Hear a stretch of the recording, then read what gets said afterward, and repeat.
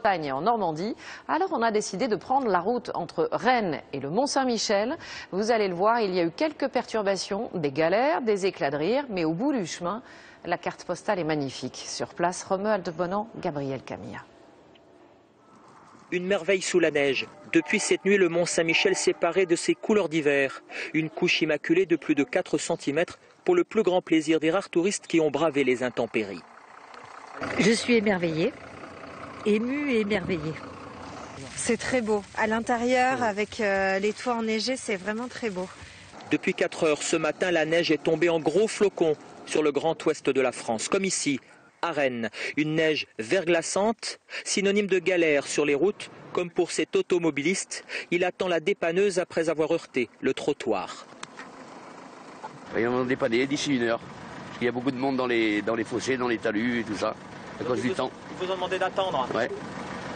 On attend, on n'a pas le choix, on n'est pas tout seul. Très tôt dans la nuit, les saleuses ont sillonné les principaux axes. Un travail de fourmi qui devrait durer une bonne partie de la journée.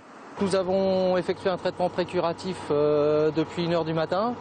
Et là, nous allons, passer les, nous allons passer les rabots sur les voies de droite de la rocade. Moins 4 degrés en moyenne ce matin, les températures négatives vont persister. Le redout n'est pas pour tout de suite avec un vent polaire qui a eu parfois raison de la mécanique. Dès que je veux décélérer, le camion il reste accéléré, alors euh, ça, va, ça va pas. Donc il faut chauffer là Bah on va essayer de chauffer pour, euh, pour enlever la glace et puis euh, voir ce que ça va donner après. Un peu plus loin, au pied du château de Fougères, lui aussi vêtu de blanc, la journée des collégiens sera surtout faite de glisse. Il n'y a pas école là? Ben non, pas, pas les collèges. Les collèges n'ont pas école. et ils ont fermé les écoles à cause des cars, pas qu'ils peuvent pas rouler. Alors euh, ils ont tout fermé. Un paysage polaire qui, dans l'ouest, devrait disparaître dès ce soir.